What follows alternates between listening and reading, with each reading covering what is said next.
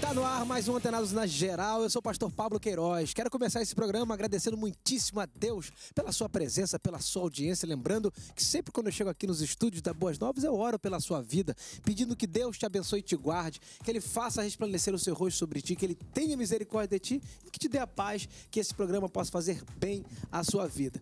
Muito bem, hoje no Antenados na Geral vamos falar sobre notícias, as notícias que bombaram essa semana. E para participar do programa de hoje, eu convido ele que é pastor, bacharel em teologia, pós-graduado em clínica pastoral e capelania e em ciência social da religião. Inclusive, o pastor Cláudio Gama veio aqui com um presente, me deu uma camisa dele. Ele sempre vem com essa camisa bonita e hoje ele me presenteou. Eu falei, então vou, vou usar a sua camisa hoje no programa, te honrar e te agradecer também. Seja muito bem-vindo mais uma vez, pastor Cláudio Gama.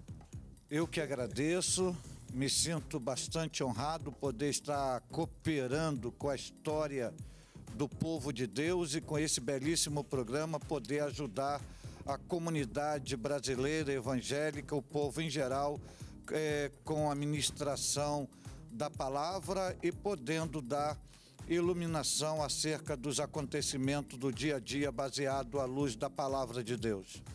Ele também, que é presbítero na Assembleia de Deus em Olinda, é bacharel em teologia. Paulo Romão, bem-vindo Antenados.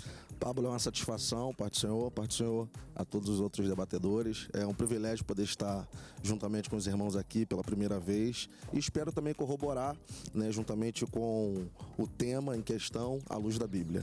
Ele também, que é diácono da Igreja Batista Vale de Benço e é mini, do, do Ministério de Louvor, Matheus Peçanha. Bem-vindo ao Antenados na Geral. Muito obrigado, eu me sinto honrado de estar aqui. É, eu sou o menor daqui, então eu, tudo que eu quero é não atrapalhar o que Jesus vai falar aqui e ser um dos que só vão dar apoio aí nessa conversa nossa. Maravilha, é como tem um pastor sempre vem aqui, ele diz o seguinte: olha, eu sempre levo mais do que trago. E é verdade, né? A gente sempre acaba aprendendo muito mais do que a gente passa. Vamos lá então para a primeira notícia da semana que diz assim: ir à igreja parece algo tão rotineiro mas para uma mulher de Itaporã, quase custou a sua vida. Ela estava no culto quando o marido chegou e ameaçou a retirá-la à força e ainda a violentá-la, caso ela não saísse de forma espontânea. Com receio, a vítima foi para casa, onde teria sido ameaçada de morte caso retornasse à igreja. A PM foi chamada, confirmando o ocorrido, e o homem foi capturado e levado para a delegacia, juntamente com a esposa. Olha só que caso Hein, pastores? É, como é que a gente pode julgar um caso desse? Porque está falando de casamento. A, gente, a, igreja, como pastor, a gente sempre defende o casamento, tendo gabinete lá de pessoas que querem se separar e o tempo todo lutando com, a favor do casamento. Mas um caso como esse, como violência doméstica, o que, que a Bíblia diz em relação à violência doméstica? Será que essa mulher se separa do marido ou ela vive dentro desse bangu 1, dessa dessa prisão, dessa escravidão. Como é que a gente pode julgar um caso como esse? É claro que essa é a notícia, a gente não sabe a verdade, né? Mas o que, a gente pode dizer em relação a uma notícia como essa? Primeiro, a gente tem que olhar as duas faces da moeda. E a primeira, a gente não pode responsabilizar a igreja por causa desta violência doméstica. Segundo, que a Bíblia totalmente ela condena qualquer tipo de violência, seja ela doméstica ou não. Mas em relação a esta notícia, eh, nós devemos averiguar o seguinte: quanto tempo esta mulher passa dentro de uma igreja e quanto tempo ela passa dentro da sua casa? Então, muitas das vezes, ah, o que pode se atribuir ao diabo pode ser uma negligência no papel dela como esposa. Ah, o marido trabalha o dia inteiro, chega em casa, está pensando que as coisas estão no seu devido lugar, o alimento está pronto e ela passa maior tempo dentro da igreja e não cumpre com seus afazeres e com seu papel de mulher. Isso vai passando o tempo e vai gerando uma insatisfação dessa insatisfação vai gerando uma fúria.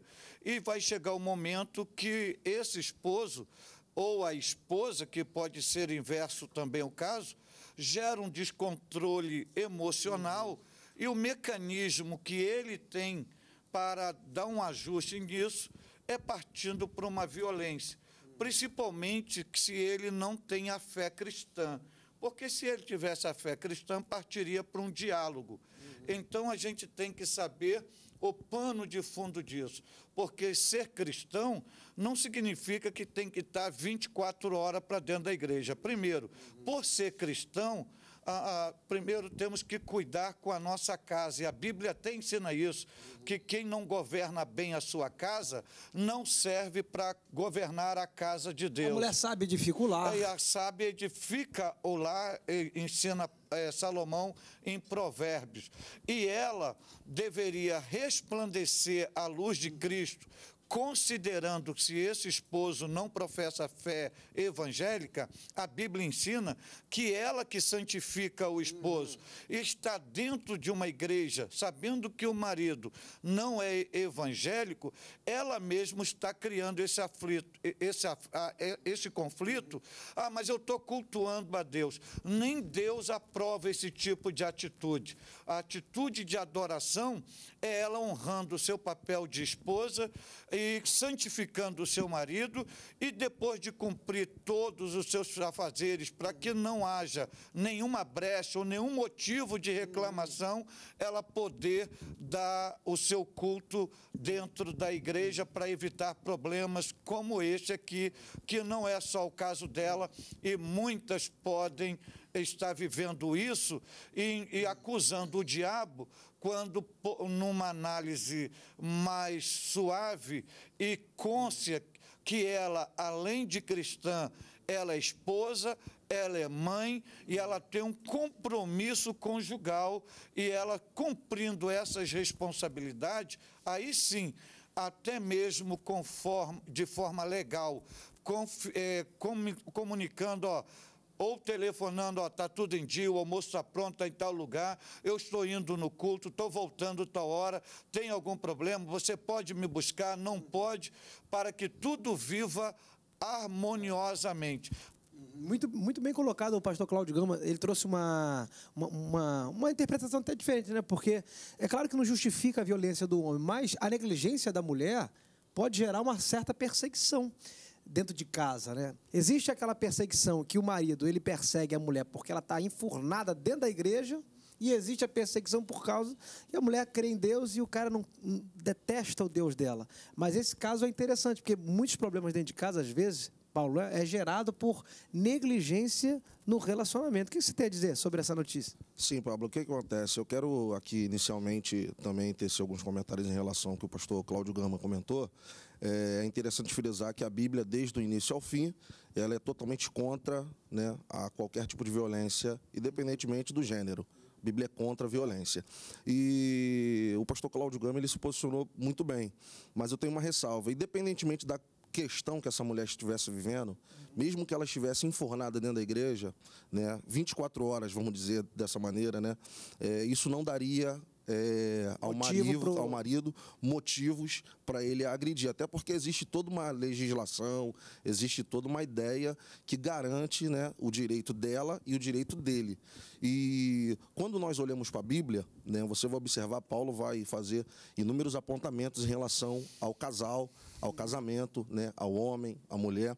E ele vai falar uma coisa que eu acho interessante, né, que o marido possui o corpo da, da sua mulher e a mulher possui o corpo do seu marido.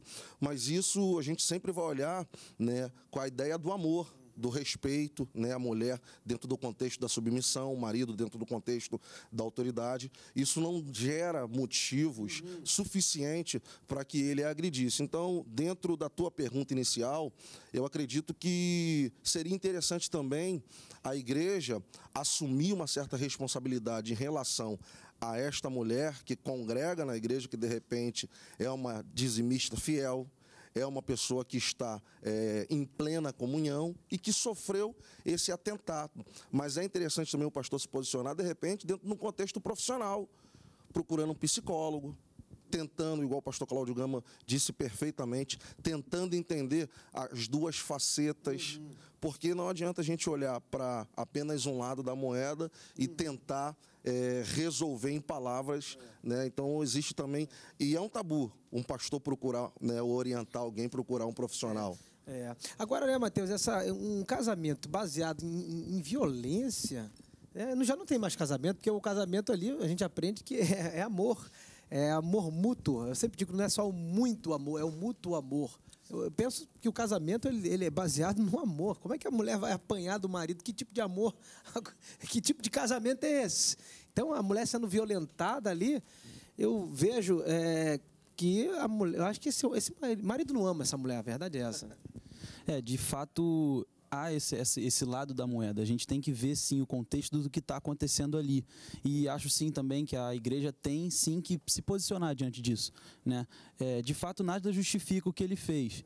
Né? Nada, nada justifica o que ele fez. E só que Paulo, uma das coisas que Paulo fala sobre o casamento é que ele autoriza é, a, o, a separação. É, a dureza quando, do coração. isso, o... quando, quando há traição. Uhum. E, poxa, na minha opinião, a traição é tão. É tão a gente, a gente, muitas vezes, a gente resume muito a traição como o sexo fora, fora do casamento, como o adultério fora do, né, do casamento. E eu vejo a traição tanto é, o essa, desamor a, isso eu vejo essa, essa, essa violência tão tão tão agressora né tão agressiva quanto o, o próprio... É, você está traindo o amor né? Você está traindo. E, sim, você casou gente... dizendo que vai amar ela até o final. Porque da... ser fiel não é sexo. Quando a gente casa, a gente vê que 20% do casamento, 10% do casamento que sustenta não é, é o sexo. A questão então... da, da violência hoje que está sendo abordado está no aspecto físico. É, só para a gente abrir sim. o leque, vamos tirar a igreja e vamos colocar um shopping center. Imagine cada um de nós aqui você chega do trabalho, procura sua esposa, onde ela está? Shopping. Chega no outro dia, shopping. Chega no outro dia, manicure na casa da vizinha. Aí quando você chega, a casa está uma bagunça, as panelas estão sujas, a, a refeição não está pronta. Você tolera um dia, você tolera o outro. Chega um momento que o seu temperamento há uma mudança. Se a mulher não para em casa, se a mulher não faz nada, então, eu não estou justificando o ato da violência, claro. mas eu estou mostrando que a ação comportamental da esposa pode alimentar isto. Pode alimentar isto. Uhum. E um fato que, que a gente lidou com isso. Então, tinha um, um rapaz, isso é fato, isso é verídico, ele fazendo um investimento na empresa dele, ele foi à rede bancária, pegou um valor monetário, ok, foi para a conta dele. A esposa dele foi para uma igreja, passou o dia todo e naquela campanha, na apelação de oferta tal, tal, tal, tal, tal, a esposa pegou o empréstimo, pum, deu de oferta. E todo o compromisso financeiro que ele fez, o cheque voltando, voltando, voltando, voltando, o banco chamou ele, não, eu tenho dinheiro na conta. Quando foi, qual a descoberta? A mulher, na emoção, pegou todo o investimento e deu. E vieram os dois líderes da referida igreja se justificar. Não, ela fez um ato de fé. Ah, ele fez um ato de fé, eu estou com meu nome sujo, eu fiz para isso, então vocês ficam com ela. Vocês ficam com ela. Então, para você ver a situação, que às vezes não é só uma questão de amor, às vezes a pessoa está colhendo que ela plantou. Tá plantando. É, o que ela plantou. Então, antes, e me permita aqui, não fazendo defesa ao ato violento, tem, tem mulher que, por exemplo, uma consagração. Ela chega na consagração 8 horas da manhã, vai sair 4 horas da tarde. E não sabe o que se passou em casa, não sabe de onde está o filho, e o marido está trabalhando. Imagine isso para um cara ímpio ouvindo de uma pessoa no trabalho, de um amigo, uma série de mensagens subliminar. Ué, você não está na mulher, sua mulher não para em casa, sua mulher está com quem, onde ela anda. O cara que é ímpio, que não tem uma experiência, isso vai gerando uma, um, um, fertilizante dentro dele que chega um momento que explode. Você que é cristão, você não, não se conforma chegar cinco dias direto. Cadê a esposa? Aonde está? Você vai partir para um questionamento. Então, não justifica a violência. Então a gente tem que ver os dois lados da moeda e a mulher, e principalmente a esposa que tem um marido não crente e vice-versa, o marido que tem a esposa que não é evangélica, ele tem que ter uma prudência, tem que ter uma sabedoria para ganhá-la porque ela não está tendo uma sabedoria, ela está sendo alvo de violência, porque ela não soube ganhá-la, e não só ganhar para Cristo, ela não soube ganhar confiança dele para ela ter o seu período de culto dentro da igreja. Muito bem, então esse primeiro bloco aqui foi para conta. Lembrando, como o pastor Cláudio Gama falou, o Paulo e o Mateus, nós não estamos justificando a violência, mas você que é mulher, você que é marido, vamos vigiar, porque se você tiver um marido ou uma esposa que é incrédula, primeiro ministério é a nossa casa, então a gente precisa ganhar o marido, ganhar as esposas, porque assim nós vamos glorificar mais a Deus. Vamos para um break, um rápido intervalo, não sai daí, Antenados volta já já.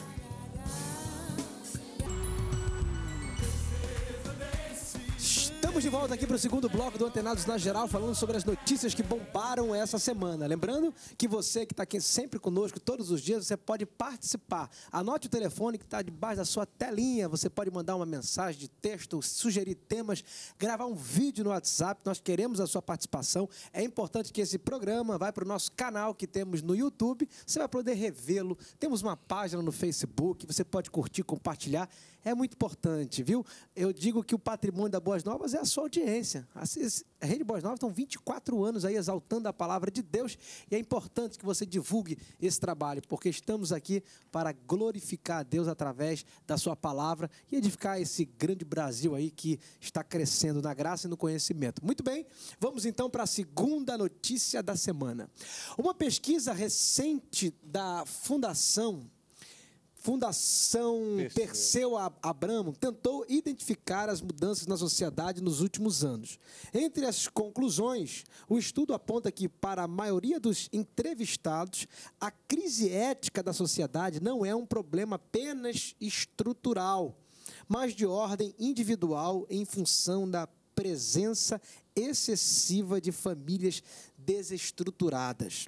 Além disso, a religião é considerada central na vida dos entrevistados, na, perdão, na vida dos entrevistados. Isso pode ser identificado pelo fato de a religiosidade ser algo muito presente no discurso das pessoas. O crescimento na adesão às igrejas evangélicas, especialmente as neopentecostais, apenas confirma as tendências identificadas no censo de 2010. É interessante, assim, como é que a gente pode analisar a importância da família e da religião no meio de uma sociedade que a gente vive, onde a ideologia de gênero tem ganhado espaço, onde os divórcios, as brigas, as contendas também têm ganhado espaço, onde a imoralidade tem crescido em nosso país. Você vê começar lá pelo palácio, né? A gente vê aí os governos, vê as instituições, você vê as famílias, você vê algumas igrejas, você vê você olha para a esquerda, para a direita, você vê uma crise mundial. E olhar para os valores da família e da religião. O que, vocês acham? Começar aqui pelo Paulo. O que, você tem a dizer em relação a esses valores da família e da religião? Qual a importância que eles têm na sociedade? Bom, Pablo, é, nós precisamos observar um detalhe na história que é muito importante. Nós estamos vivendo num período pós-moderno e esse período tem uma demanda muito grande de influência do fator sociedade dentro da igreja. E isso tem culminado em algumas mudanças de valores. Uhum. E valores não educacionais. Morais de, também. Sim. Éticos. Eu digo valores bíblicos que estão sendo transformados, não por conta daquilo que está sendo pregado, embora uhum. eu tenha um pensamento que hoje né? Muitos expositores violam o sermão, né? não apregou um sermão genuíno. E isso também acaba entrando na conta dos valores, porque a pessoa que vem de uma família não crente, ela chega em determinadas igrejas e ela não consegue observar a diferença daquilo que ela vivia fora da igreja. Então, a partir disso, você observa que tem sermão violado. Então, partindo desse princípio, nós vamos observar que a sociedade tem realmente mandado o seu recado em relação a tudo aquilo que você falou. É, você vê, a gente vive numa sociedade líquida, né? o, o século XXI. O relativismo, falou do pós-modernismo, o relativismo. A relativização dos valores, na verdade, parece que é, eles estão absolutizando o que é relativo e estão relativizando aquilo que é absoluto. Sim, só para é, complementar, nós precisamos entender que os valores bíblicos eles não mudaram. Os valores bíblicos não mudaram. Por isso que é importante a gente trazer Isso, os valores, os valores bíblicos, bíblicos. eles permanecem É. fixos e firmes e são eternos. Eles não mudaram. Imutáveis, é, São, são imutáveis. A, a grande questão à luz da Bíblia Sagrada, apesar que nós estamos vivendo no século XXI, numa geração pós-modernidade, a estrutura da família, a, a base familiar, a família, é uma constituição divina. E todos os valores da família, eles são saudáveis para a, uma construção de uma sociedade saudável. O problema é que esses valores foram consumidos ou estão sendo deturpados, destruindo esses valores ou deturpando os valores na família, independente de fé, independente de religião, a família é o foco principal que dá um horizonte às expressões comportamentais da sociedade. Volto a dizer, independente de fé. Então, o maior problema hoje é a degeneração do ser humano.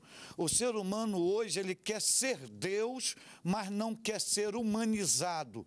E isso já começa dentro de casa, aonde quando um filho não respeita mais o pai, quando não respeita mais o idoso, quando o filho hoje faz do pai o refém. Antigamente, você dizia para o seu filho: Filho, senta aqui. Hoje você pergunta: aonde você quer sentar? Antigamente você colocava a refeição à mesa, é, isto é o que tem que comer hoje. O que que você quer comer? O que que você quer fazer? Hoje os pais são refém dos filhos e isso tem refletido na escola, onde professores são reféns de aluno e tem se refletido na sociedade, onde a sociedade é refém desse tipo de pessoa, seja depre- depredando o patrimônio público, fazendo o que você que bem entende, você vê um idoso pegando um, um veículo público, está lá um garoto de 10 anos fingindo que está dormindo para não dar lugar. Isso é uma é. desvalorização. E você volta, é um desrespeito, é ser antiquado, é ser quadrado, você ver um idoso pedir a bênção, pedir licença, ou, ou, ou dar o lugar para ele numa fila, isso não é ser quadrado, isso chama-se respeito, educação, valorização, que isso foi corrompido pela sociedade. Isso começa onde? Na família. Por quê? A família perdeu seus valores, abriu mão dos seus valores. O pai deixou de ser o sacerdote da casa, a mãe deixou de ser a, ma- a matriarca da casa. Hoje os filhos fazem o que bem entende. E num contexto geral, o maior caos da sociedade hoje é a degeneração do ser humano. E aonde entra a religião? Que a religião é um meio para resgatar os princípios éticos, morais, espirituais e sociais, independente do cristianismo. Se a gente olhar hoje para os princípios ensinados por Dalai Lama. lama, você vai ver qual é o princípio. É um princípio saudável de compostura, de, de não revolução, de valor ao ser Uhum. humano. Se você olhar para Mahatma Gandhi, É. a, a linha, a filosofia de Mahatma Gandhi, amor, se você olhar para Madre Teresa de Calcutá, Madre Teresa de Calcutá estava tratando de um leproso, uma pessoa podre, cheio de bicho. Passou uma pessoa por ela e disse para ela em voz alta: Eu não faria isso nem por um milhão de dólares. Ela levantou a cabeça e disse para a pessoa: Nem eu. Porque ela É o não estava fazendo por uma. não. Então, o que nós precisamos, quando Jesus veio, Jesus veio, Jesus não veio estabelecer religião, Jesus veio estabelecer relacionamento, princípios, Princípios. éticos, morais, espirituais, e ele resumiu tudo. Amar a Deus acima de todas as coisas e o teu próximo como a si mesmo. Então, quando essa sociedade valorizar o próximo, olhar para o próximo e ver a sua própria imagem, nós teremos ética, nós teremos valores, nós teremos respeito e teremos uma sociedade mais digna uma boa- e não viveremos como eh, síndrome animalesca e predatória. É interessante que, Matheus, que o pastor Gal está falando, porque a perda dos valores da família e da religião gera essa geração aí Nutella que a gente está tendo aí no dia a dia, né? Mimimi. Eu, me mandaram um vídeo um dia desse aí do cara que tá comendo sucrilho, aí caiu um sucrilho no chão.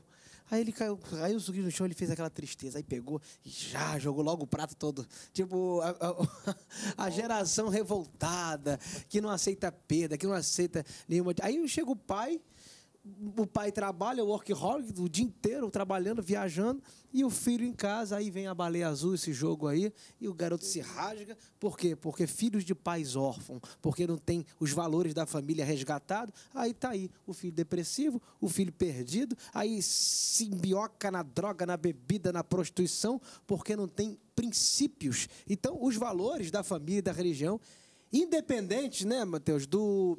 Se. Jesus é claro que é o Salvador. Para nós, ele é Salvador. Mas imagina se ele não fosse Salvador. Ainda assim, os princípios cristãos seriam os melhores princípios a serem adotados na sociedade. É, sim, eu tava vendo esses dias, é, tava conversando com, com os amigos, e na Europa estão adotando né, uma medida de as pessoas estão começando a colocar Jesus é, nos outdoors, versículos ônibus, bíblicos é. nos ônibus, outdoors da cidade. Por quê? Porque lá é, é onde não tem praticamente É, uma- é uma- um continente pós-cristão, né? já, já se perderam os sim. valores. E por causa disso, perdeu-se os valores, até morais e sociais, esses negócios assim que você falou.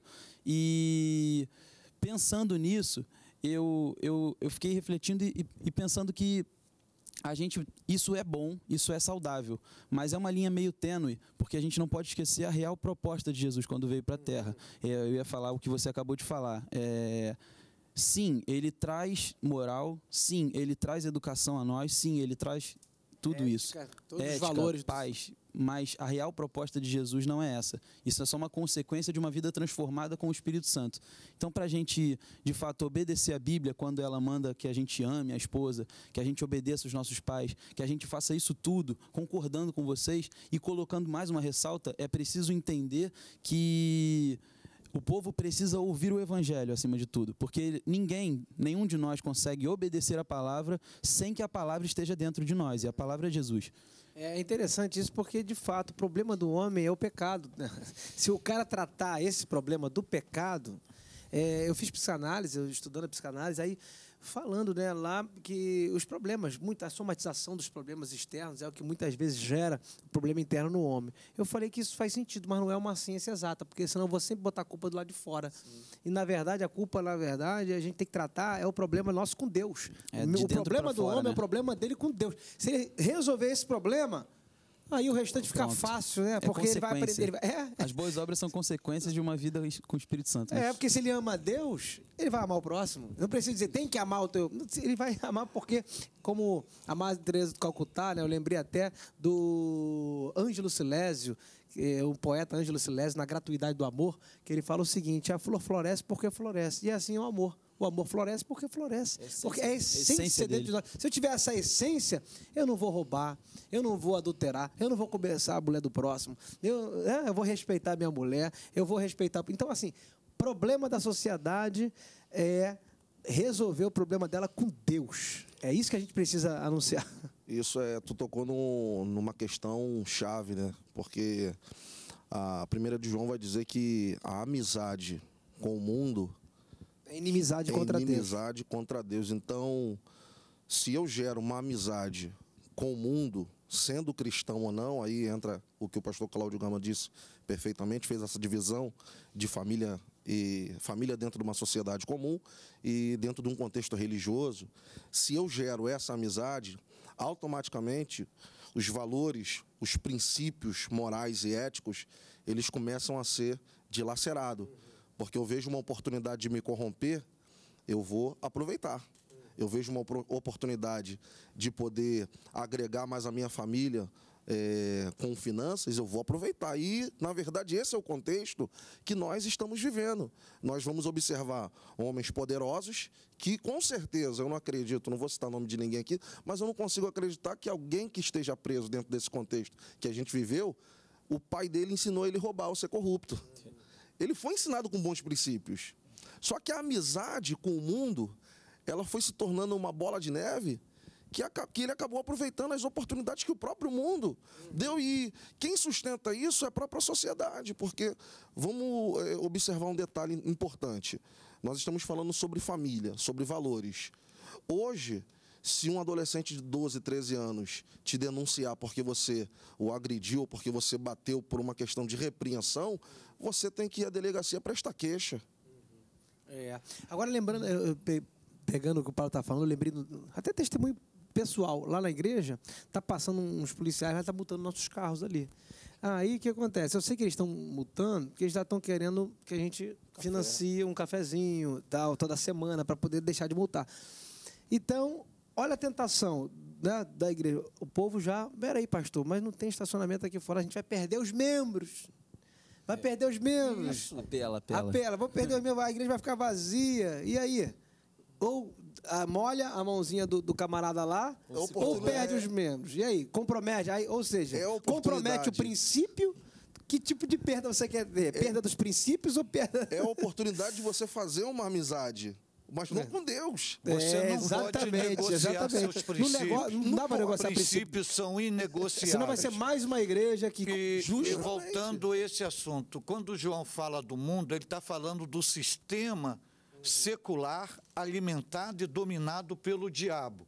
Não está falando de uma alienação da igreja com pessoas.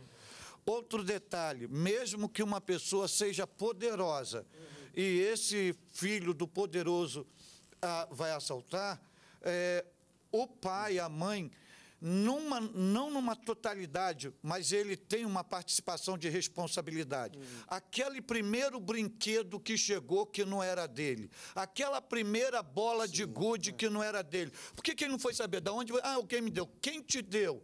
Então ele vai alimentando sutilmente uma prática que amanhã ela se torna monstruosa e vai perguntar onde eu errei. A família é a base de tudo.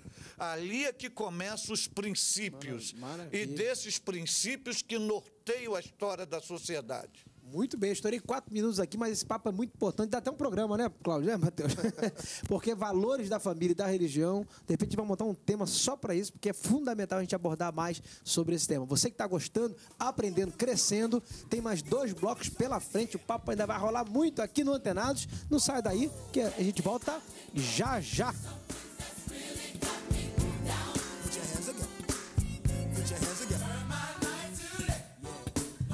Estamos de volta aqui para o terceiro bloco do Antenados na geral. Nesse momento, o Brasil nos assiste. Tenho certeza. Dá um beijo aí para todo o Brasil. Eu sei que o povo do Nordeste, estive pregando lá no Nordeste, todo mundo assistindo. A gente está na Oi TV 210. Lá no Nordeste era multiplay, multiplan. A gente está na NET Manaus, tem na, tem na Canal Aberto 5.1. Agora em São Paulo 51.1. temos uma parceria com a Rede Gênesis também, do Bispo Rodovalho, da Sara Nossa Terra. Então a gente está aí espalhado no Brasil todo. É muito importante ter esse programa, é um programa que exalta a palavra, exalta o Senhor, exalta as Escrituras. Queremos aqui pregar o Evangelho para o mundo todo. Eu, domingo eu preguei na igreja, deu uma de, de Darkson Lira, né? Aí eu falei que a Bíblia ela é tão maravilhosa que ela revela, não, apenas, não nega a ciência. Por isso, esse, o, o programa de hoje é para isso. A gente explicar a sabedoria de Deus. Eu falei que na Bíblia tem a, a geografia da alma, a biologia da vida, a física da, da, do equilíbrio da cruz, a matemática da multiplicação, a alquimia das grandes transformações. Então, nas Escrituras, nós encontramos a solução para o ser humano, a solução para a sociedade, a solução para a família, a solução para a alma do homem. Então, permaneça aqui conosco, é muito importante a sua audiência, porque aqui Todas as áreas da sua vida são abençoadas pelos ensinos da palavra de Deus, das escrituras sagradas. Vamos lá para mais uma notícia, tentar contextualizar aqui com o nosso mundo. Olha só que bacana aqui que essa notícia. Chuck Norris, quem não conhece Chuck Norris, né? Aquele valentão. Chuck Norris, uma vez mandaram uma lista da, das atitudes de Chuck Norris. Chuck Norris não dorme, ele pisca. Colocando Chuck Norris numa, num patamar, num pedestal. Essa é a fama de Chuck Norris. Um cara valentão, forte, que não perde batalha. Aí aqui a notícia vem o seguinte: Chuck Norris é uma das figuras mais reconhecidas na indústria do entretenimento o que muita gente ignora é que ele é fiel seguidor de Jesus Cristo. Nem um valentão se sujeitou, resistiu ao amor de Cristo, ao amor de Deus. Olha que bacana. Chuck fala abertamente sobre sua experiência como cristão.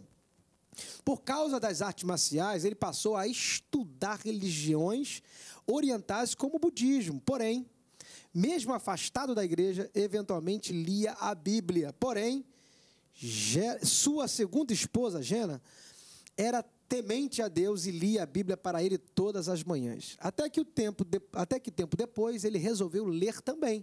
Assim, começou a ler em voz alta por uns dias. Foi então que o Senhor disse a ele: Chuck, é hora de voltar para casa. Meu coração voltou a ser cheio, diz o Chuck Norris. Olha só, nem um valentão resistiu. lembrei até de Paulo, né? Paulo, Paulo Valentão, perseguidor da igreja, né, Mateus? Não consegue resistir à graça de Deus. E qual a importância de um homem é, como Chuck Norris, que está na mídia, está em Hollywood, é conhecido por esse povo da, da, da alta classe? Qual a importância de uma conversão como essa na sociedade? É, assim, aí sim, né? Agora, ontem eu soube né, que o Chuck Norris se converteu, e aí eu pensei, agora eu. Tô tranquilo.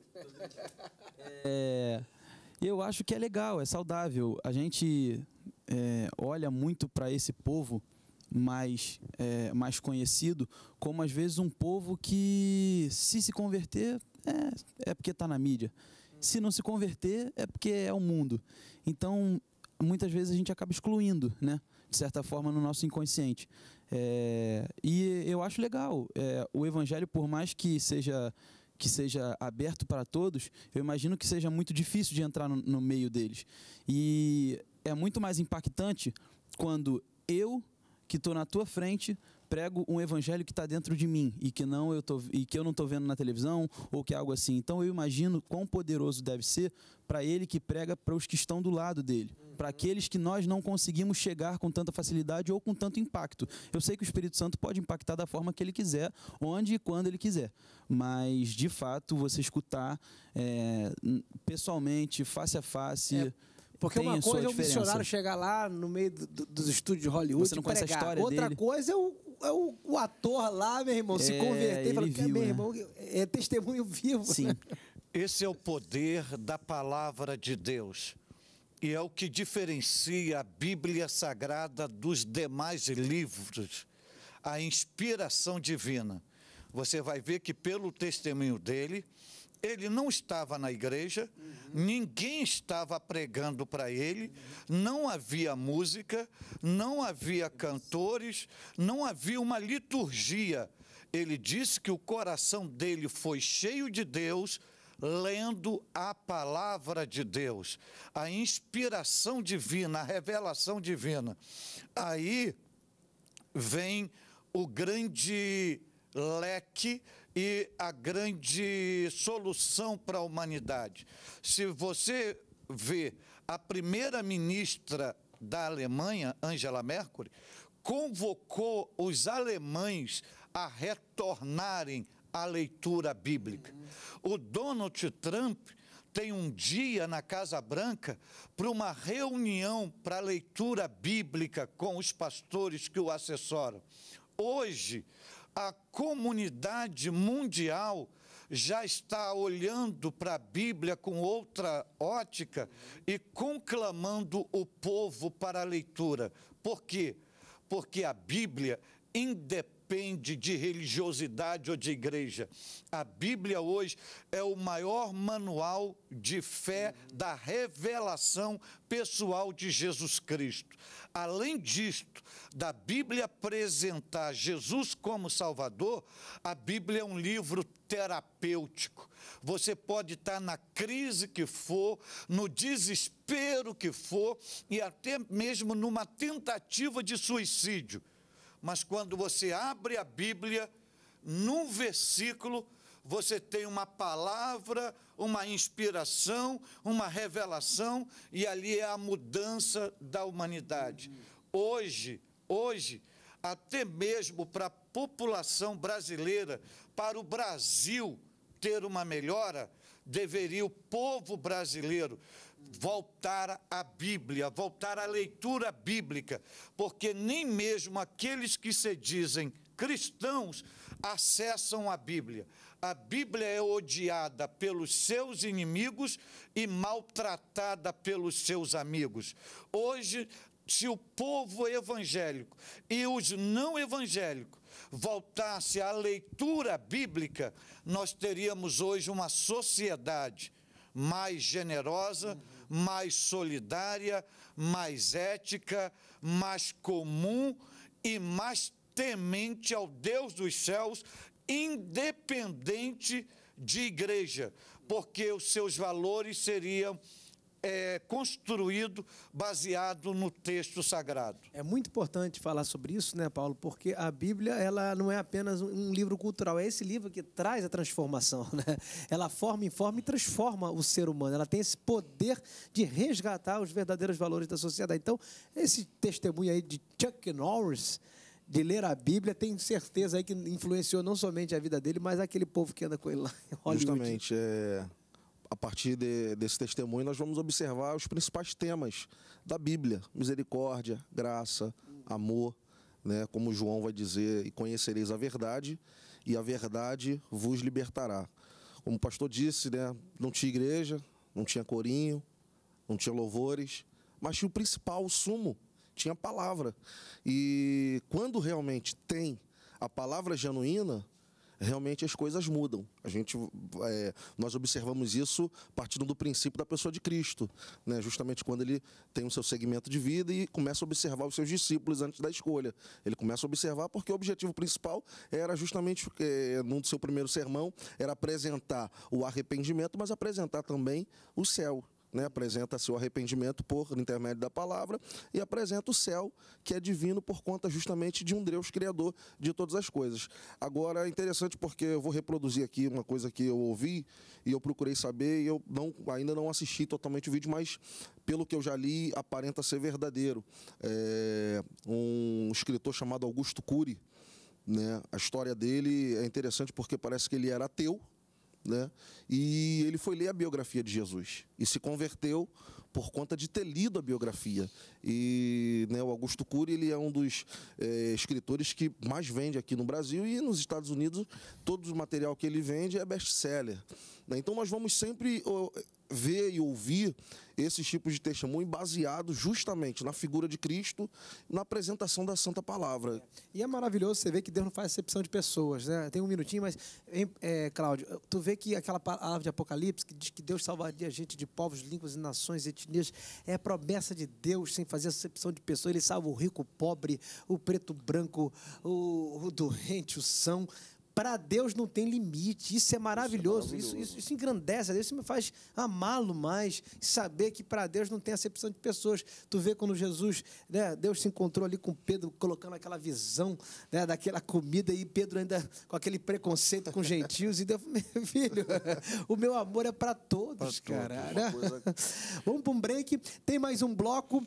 Vamos fechar com chave de ouro. Você que está aí sendo edificado, gostando, já agradeço a Deus pela sua audiência e não sai daí.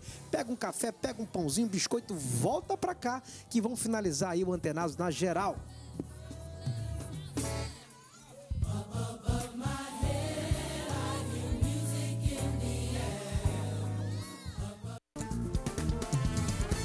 Estamos de volta aqui para o quarto e último bloco do Antenados na Geral. Vamos falar aqui sobre mais uma notícia. Eu estou achando aqui que escreveram em mistério aqui, ó. Lauren Laluz, Stepan Chet foram colegas de seminário no início dos anos 2000.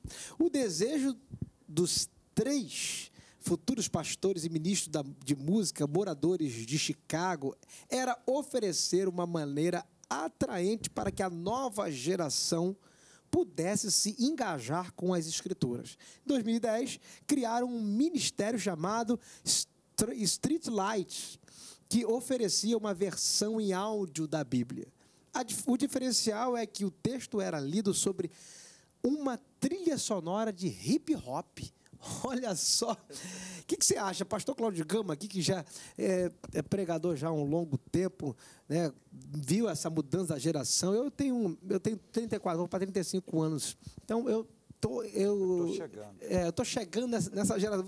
Você já viu a antiga geração e essa nova geração essa modernidade na evangelização, essa criatividade na evangelização, você acha que tem algum prejuízo para os conteúdos principais do evangelho? Ou não? É uma estratégia de Deus que pode ser utilizada aí, usar a música para traduzir as escrituras, para poder alcançar o coração do incrédulo? A primeira coisa, a gente precisa diferenciar modernidade para mundanismo. A Bíblia totalmente condena o mundanismo, mas não tem um livro tão moderno tão atual quanto a Bíblia. Ah, pelo que foi apresentado aí, ah, esse projeto não é para atingir pessoas cristãs, uhum. é para atingir pessoas não cristãs. E é uma estratégia é algo válido, porque vai pegar uma pessoa que é amante desse estilo musical e de repente vai estar ouvindo palavra de Deus. E ouvindo a palavra de Deus, quem vai germinar e produzir a fé não será o estilo musical, será o poder da palavra. E tendo conhecimento da palavra, aí ele vai ter o direito da escolha de continuar no estilo musical ou de se adequar a outro estilo musical conforme a orientação do Espírito Santo. E Jesus ratifica tudo isso dizendo: E conhecereis a verdade, e a verdade vos libertará. E outra coisa, Paulo diz que não importa como o evangelho seja pregado, ele tem que ser pregado. E o que entendemos nessa notícia é que o objetivo é que a mensagem bíblica chegue a um grupo de pessoas que não vão à palavra, mas eles estão criando um meio para que a palavra chegue até é eles. É interessante, lembrando de Paulo, Mateus, ele falou que quer comais, quer, quer, quer bebais, fazer tudo para a glória de Deus. É isso que deve ser feito, né? Peraí, isso aqui está glorificando a Deus? Isso aqui não compromete o meu princípio cristão, o meu conteúdo? Então, vamos colocar em prática que Deus vai ser louvado. Sim, é interessante que a própria Bíblia ela faz esse, esse tipo de estratégia para evangelismo. Cada evangelho, por que, que nós temos três livros contando o mesmo evangelho, só com alguns detalhes diferenciados? Porque cada um foi escrito de uma forma para um povo diferente. Um propósito. E isso nos apaixona, porque fala exatamente dessa estratégia, né? E eu acho interessante contanto que tenha equilíbrio, né? É, a gente estava vendo, tem uma Bíblia nova agora, eu não sei se é essa, mas que conta a, a, a Bíblia de forma diferente. Ela conta- Freestyle. é, a Tem Bíblia é freestyle, eu não sabia que se podia falar o nome. Ela conta, mas só que ela adultera algumas partes. Então, aí eu já acho que, que não cabe. quando Tipo, você as- precisa, as quando você virgens, né? Isso, exatamente. Quando você precisa sair da palavra de Deus para fazer com que a palavra de Deus seja alcançada, eu já não acho que cabe. É a mesma coisa eu pedir para você comer feijão se eu te dou açaí. Não, Não é, a o que o pastor Cláudio está falando sobre o mundanismo. Por exemplo, essa Bíblia, era, é, as- dez virgens que né, esperavam noivo, ele fala que eram os dez caras que foram pra rave e, é, e pegar as minas. Aí violou passagem de totalmente, Jesus, adulterou o texto, Você não cara. pode ferir os textos originais sagrados, tipo o hebraico, o aramaico Sim. E, o, e, o, e o grego. coisa é estratégia, Você outra pode usar uma linguagem contemporânea, mas sem profanar o sagrado. Sim. É interessante a gente observar também porque é uma frase muito interessante que, que eu vou citar aqui agora e é muito verdadeira, né?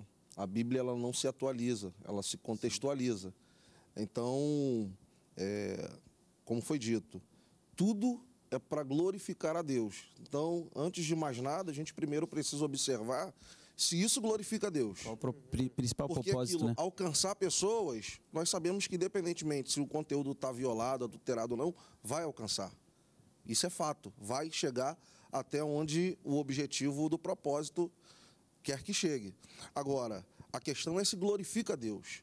E um princípio também que é interessante, que eu acho interessante frisar, é a respeito de quando alcançar essas pessoas pelo intermédio né, da musicalidade, o hip hop, quer que seja qualquer outro é, estilo musical, né? A música é algo universal e é algo que nós amamos. É, quanto o conceito de disciplina, disciplinar essa pessoa. Então, a partir do princípio que essa pessoa é alcançada pelo, por esse estilo musical, ela sendo envolvida, ela, ela precisa passar por um período de disciplina para justamente cair onde o pastor falou. Se ela vai ficar ou não. Eu tenho um minutinho. É, existe algum estilo que não é de Deus? É, O estilo musical? Dá para considerar? Ou, ou todos os estilos dá Não. para encaixar e glorificar Deus em Eu todos creio eles? que não existe bem esse estilo, porque na real existe para mim o que é pregado, né? O que se prega devido diferença de- Estilo do é- é a estilo, mensagem. o estilo Tem é a 30 mensagem. segundos, 20 né? segundos a agora. questão é a mensagem que Você a música tem está que ver como Exatamente. que é o propósito. O problema não está no estilo. Sim, justamente. No pro- o, o problema está no propósito quando justamente. esse É isso, estilo está sendo a gerado. Maravilha. Pastores, agradecer muitíssimo aí a presença de vocês. O, o tempo foi para conta, o tempo é curto. Pastor Cláudio Gama, bri- obrigado aí pela camisa, viu? Presentão aí que eu Prazer, ganhei. prazer, prazer. Foi muito bom. Deus abençoe a todos, Deus abençoe Brasil. Um beijo grande e até a próxima.